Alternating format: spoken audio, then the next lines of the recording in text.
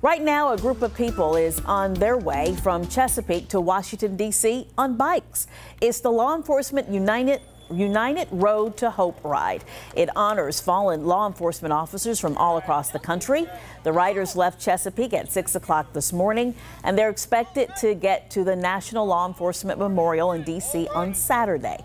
A police officer from Minnesota that we spoke to says it's inspiring to see so many people come together for a common cause.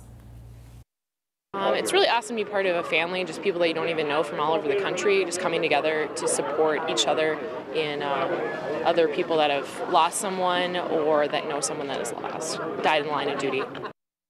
One of the riders this year is Michelle Dermyer, whose husband Chad was shot and killed in the line of duty two years ago in Richmond. He was a Newport News police officer before he became a state trooper.